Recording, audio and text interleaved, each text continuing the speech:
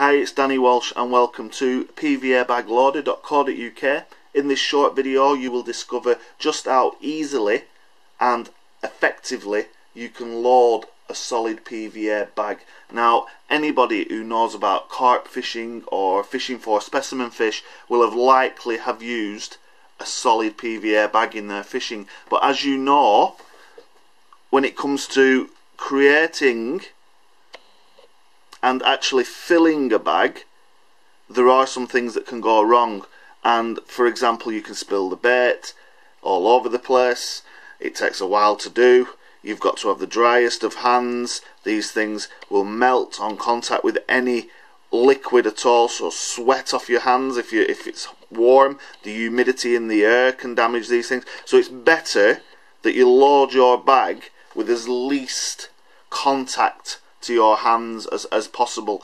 And this is a problem that anglers have been wrestling with for many, many years. Now, PVA has come a long way since it was first developed in, in the fishing industry and from big sheets that you would actually have to make your own bags from, we now have these pre-packed, ready-made, perfect PVA bags available from a range of manufacturers. Now my main style of angling involves solid PVA bags because I know that the presentation, the fact that there's concentrated bait, and the fact you can cast these things a, a great distance accurately means that it's an all-round winner especially when the times are hard and you're struggling to get a fish on the bank. You need something that's going to pull the fish in but it's literally a meal for one. So when the fish home in there's just enough bait to attract one fish out of the shoal and hopefully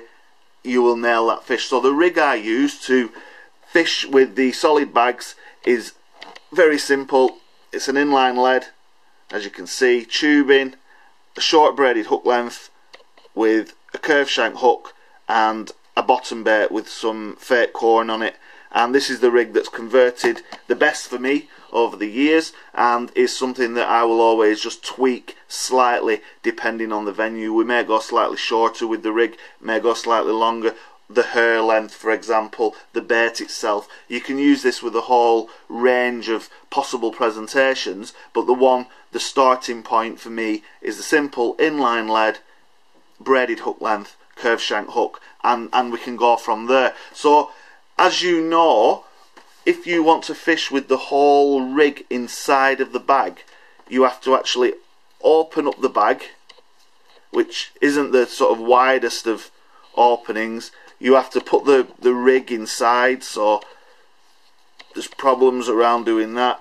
And and then you actually have to get the, the bait into the damn thing. So by the time you've you've messed around and I see people sort of blowing into the bag to keep it open, you've not got your hands free and you haven't got very much room to maneuver so it's easier to either not bother or use a traditional dynamite stick or mesh bag and actually miss out on the opportunity that a solid bag will present you with because this bag has got so much bait in it that it will perform above and beyond what you can achieve with other PVA styles of fishing. So what I came up with, and I've come up with this, and there's another video on, on the internet which you can you can possibly see on this page as well.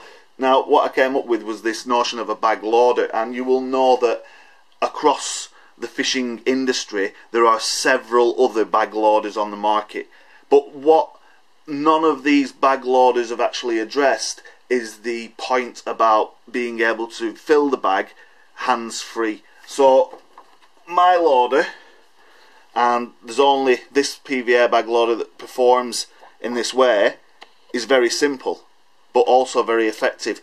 And this loader is actually the result of quite a few years testing and using this in its varying different shapes and forms in all of my fishing. So wherever I go I always fish a solid PVA bag. And you can see on this page some of the fish that have actually I've caught using this method and there's Pendle View on there, Wire Lake on there, all different lakes and venues around the northwest which are, known to be difficult to say the least. So going on there and catching 30s, you know, up to 36 pound in this area is what I consider to be a good achievement in carp fishing.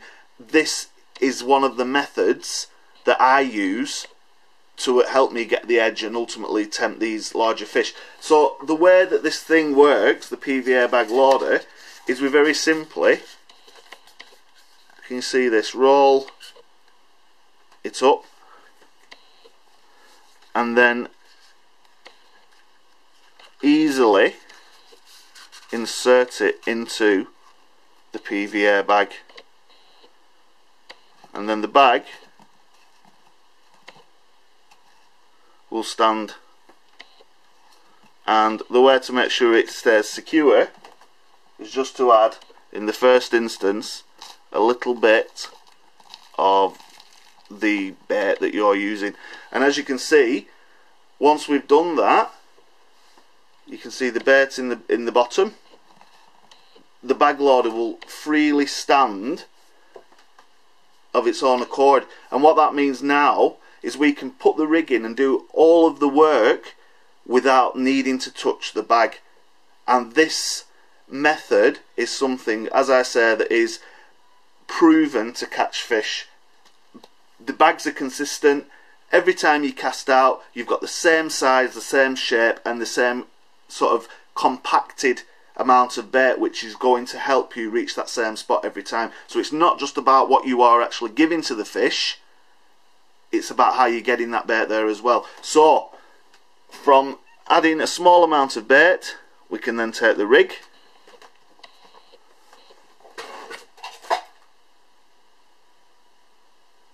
So here we come with the rig. And we can gently lower that into position within the bag loader.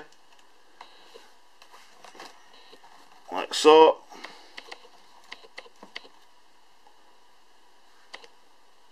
we can then add some more bait around the lead.